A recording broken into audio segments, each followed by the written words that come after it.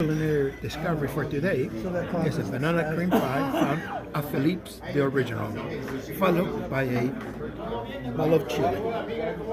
I hope you enjoy it as well, well, not to mention Philippe's famous coffee. Why are you eating jello?